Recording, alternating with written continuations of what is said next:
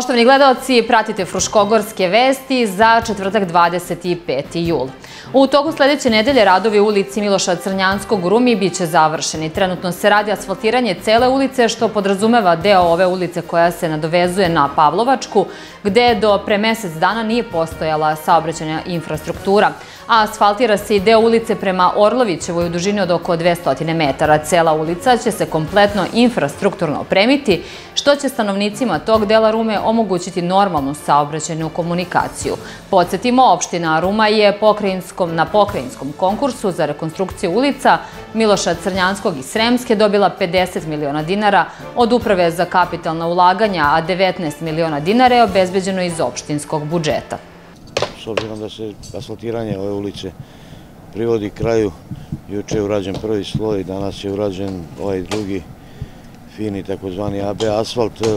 Ono što smo obećali da i onaj deo tamo koji je do sad imao asfalta od Orlovićeve ulice do ovog sastava ovde, dužine nekih 300 metara, danas preslačimo, preslačimo i to, zato smo izvojili dodatnih 2 miliona dinara iz našeg budžeta, odnosno milioni 700 milioni 700 hiljada dinara i kao što vidite Ovo ide dosta dobro, preostaju još da, da, da se urade ovi kolski ulazi, odnosno čuprije, betonske čuprije koje će se raditi u betonu ispred svakog placa, ispred svake kuće, postavljanje kandelabera i uređenje ovih zelenih površina i bankina.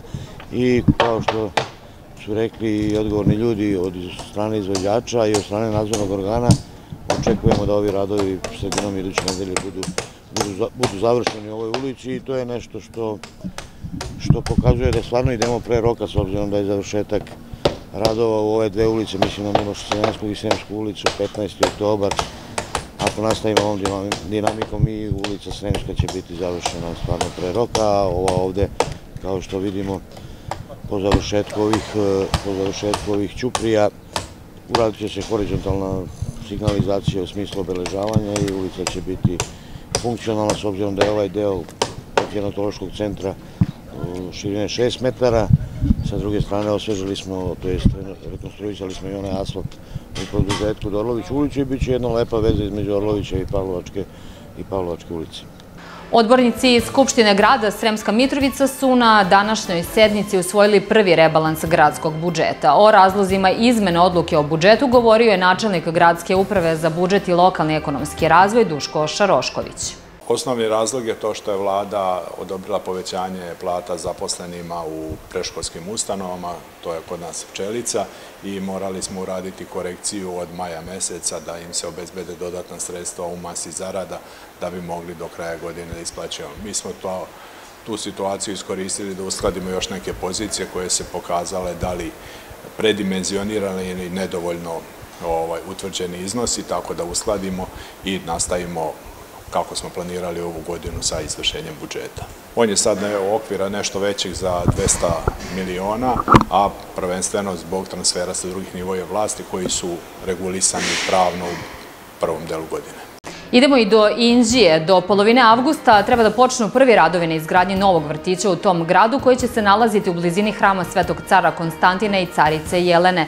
Javna nabavka je u toku i ističe 8. avgusta, nakon čega sledi izbor izvođača radova i potpisivanje ugovora. Izgradnjom novog vrtića u Inđiji biće rešen problem nedostatka smeštenih kapaciteta za decu, a kako je više puta istakao predsjednik opštine Vladimir Gak, vrtić će tada biti potpuno besplatan za svu decu.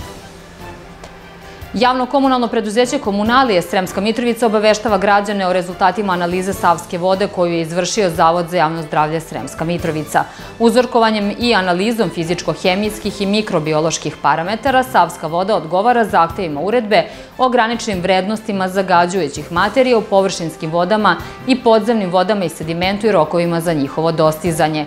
Iz Komunalija navode da kupači izbjegavaju ronjenje, gnjuranje, prskanje, skakanje i gledanje u vodi, a prilikom prilikom ulaska u vodu postepeno se rashladiti. Obavezno se tuširati čistom vodom sa tuševa nakon izlaska iz Savske vode, vršiti nadzor nad kupanjem male dece. A najjači ljudi sveta takmičit će se 27. jula u Indiju u okviru Strongman Champions Lige, najpriznatijeg i najatraktivnijeg svetskog takmičenja u ovom sportu. U Indiji će biti predstavnici više od 10 zemalja sveta, među kojima su SAD, Velika Britanija, Holandija, Estonija i Mađarska. Srbiju će predstavljati Nemo Tasić, koji je na nacionalnom takmičenju Austrije osvojio prvo mesto i Vladimir Bulatović, mlada nada u ovom sportu iz Kikinde. Nastavljamo naše vesti temama iz opštine Stara Pazova. Još jedan u nizu koncerat u okviru Pazovačkog kulturnog leta 2019. Biće održan večeras u Belegišu, kada će u centru mesta sa početkom u 21 sat nastupiti grupa Gara Visokak. Nakon nastupa u Vojki, ovaj bend će i stanovnike Belegiša obradovati akustičnim zvucima muzike sa motivima Srema i Vojvodine. Opština Stara Pazova u narednom periodu organizovaće još nekoliko besplatnih koncerata na otvorenom u mestima opštine u toku letnjeg perioda.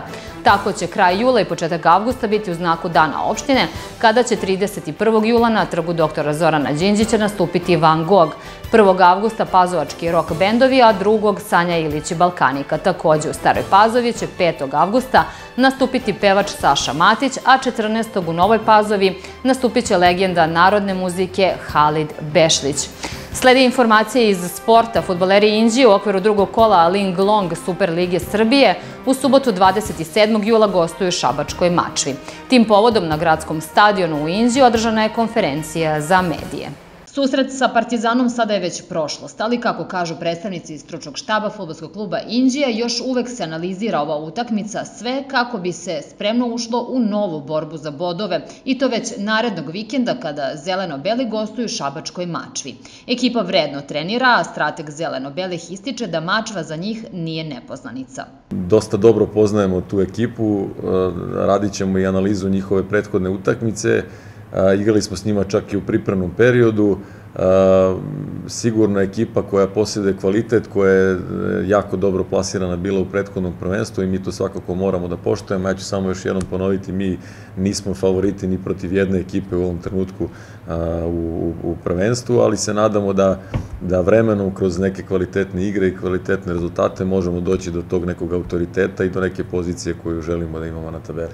Kapitan zeleno-belih Miloje Preković nada se dobro igri svojih saigrača i prvim bodovima za ekipu koja je Novajlija u Linglong Super Ligi.